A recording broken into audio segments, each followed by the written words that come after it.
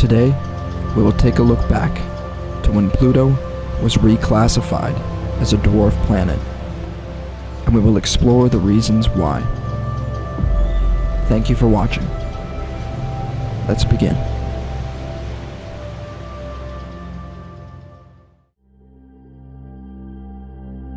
At the time of Pluto's discovery, in February of 1930, our understanding of the solar system was not as far along as it is today.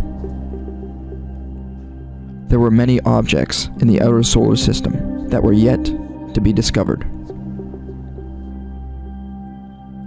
In August of 2006, the International Astronomical Union, or IAU for short, decided to create a scientific definition for what it means to be a planet. This decision came about because in the recent decades, many other objects were being discovered orbiting beyond Neptune. And this is the region where Pluto orbits.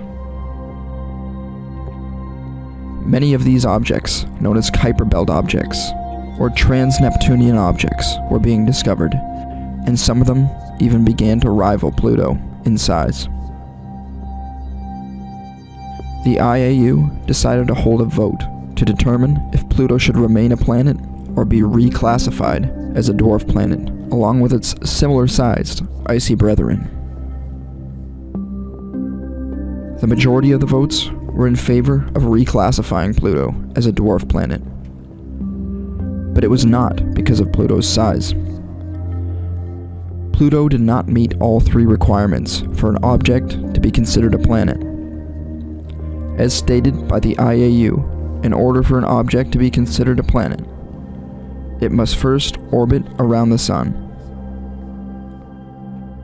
Second, it must have enough mass to have formed the object into a near round shape.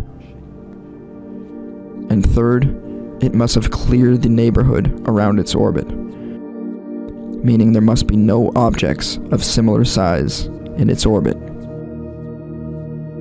Pluto meets two of the three requirements. It, of course, orbits the Sun, and it has enough mass to be round in shape but it has not cleared its orbit of other objects. I think it does make sense for Pluto to be classified as a dwarf planet in light of all the discoveries that were made around the time of the vote. And Pluto fits in much better with the objects in the outer region of the solar system than it ever did with the eight planets. Pluto is still a fascinating place, and I look forward to making more videos about Pluto very soon. I want to thank you for watching today's video. If you enjoyed it, feel free to show your support with a like, and let me know your thoughts in the comments below. If you would like to see more videos like this in the future, feel free to subscribe. Until next time, take care and be well.